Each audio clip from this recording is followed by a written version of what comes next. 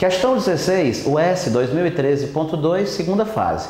MOI, na questão 16, uma questãozinha de hidrostática, o camarada está interessado em estimar a densidade do corpo de uma pessoa.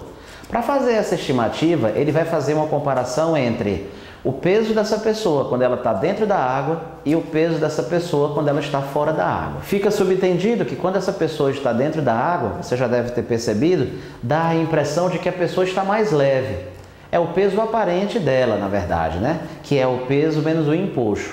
Então essa questão está se referindo a isso. Então ela vai comparar o peso aparente dela, né, quando a pessoa está dentro da água, com o peso real dela, quando a pessoa está fora da água.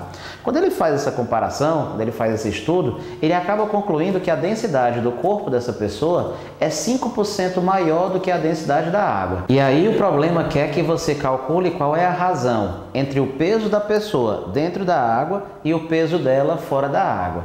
Em outras palavras, a questão está querendo que você calcule a razão entre o peso aparente dessa pessoa e o peso real. Vamos então resolver o problema. Segundo o enunciado, a densidade do corpo dessa pessoa é 5% maior do que a da água.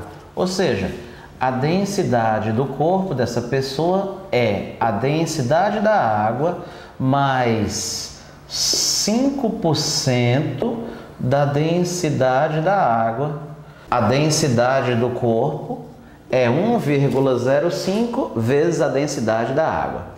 Vamos agora ao pedido da questão. A questão está querendo comparar o peso aparente dessa pessoa com o peso real. O peso aparente, na aula de hidrostática, não é o peso menos o empuxo? Portanto, o peso aparente dividido pelo peso real está dando essa expressão aqui. Vamos ver quanto é que vai dar isso daqui, Renato? Vamos lá? Como é que se calcula o empuxo? É a densidade do líquido vezes o volume submerso vezes a gravidade. Estamos supondo que essa pessoa esteja completamente submersa.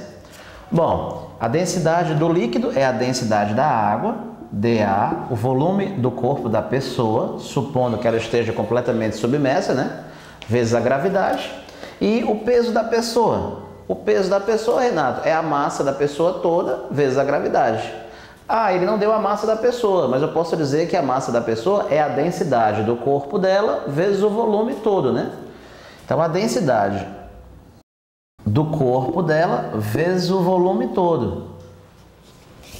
Então essa essa daqui é a razão entre o empuxo e o peso dela, né? Supondo que ela esteja completamente submersa. Assim, continuando esse cálculo, você percebe que a gente pode cancelar esse VG com esse VG e vamos encontrar 1 menos a densidade da água dividido pela densidade do corpo. A densidade da água dividido pela densidade do corpo, você percebe daqui ó, que é 1 sobre 1,05.